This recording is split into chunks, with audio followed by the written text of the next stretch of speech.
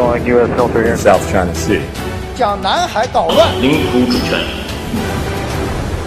In my opinion, China is clearly uh, militarizing the South China Sea, and you'd have to believe in a flat Earth uh, to think otherwise.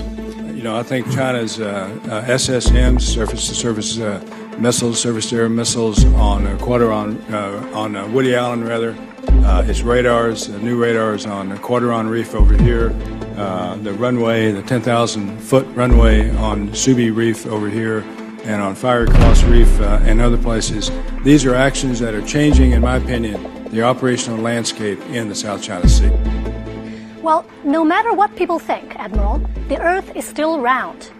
The words that you've been saying are as misleading as saying the Earth is flat. First of all, China has never sought to militarize the South China Sea islands and reefs through construction efforts.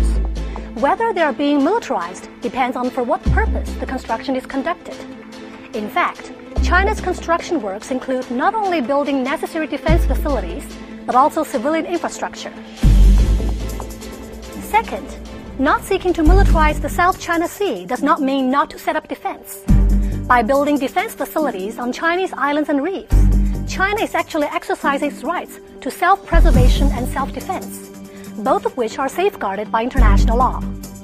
Actually, the American warship's constant strolling at China's backyard has made us very nervous. We have to repair our fence.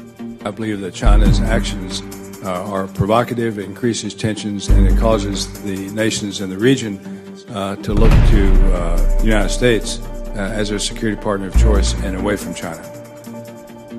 As a country heavily dependent on this important waterway, China would be the last one in the world to wish for turbulence in the South China Sea. Whenever in dispute, China would always resort to peaceful negotiations. The Asia Pacific region has been at peace for decades, but that valuable peace has been broken by frequent visits of American warships and airplanes, like a gate crashing visitor to the neighborhood. So, who has really been muddling the waters of the South China Sea? Hmm, I wonder. Besides, China is not the only country in the region to build infrastructure and defense facilities on South China Sea islands. Other countries, such as the Philippines, have long been doing so on Chinese islands. Yet that hasn't stopped the U.S. from calling China a bully and turning a blind eye to its little brother's unlawful behavior. Resorting to fear mongering by vilifying China as a threat, Washington plots to forge a coalition to encircle China and force it to dance to its tune.